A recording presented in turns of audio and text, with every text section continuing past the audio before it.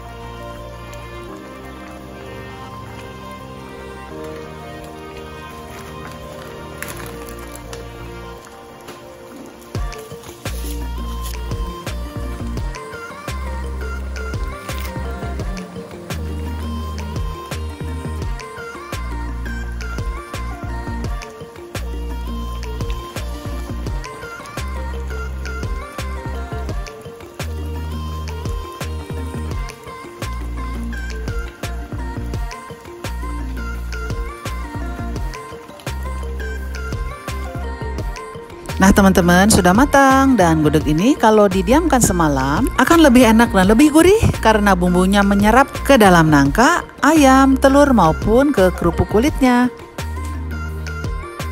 Seperti ini Kabita tuh teman-teman. Pasti dong maknya sih tuh Kabita Terima kasih teman-teman sudah menyimak video saya ini dan selamat mencoba.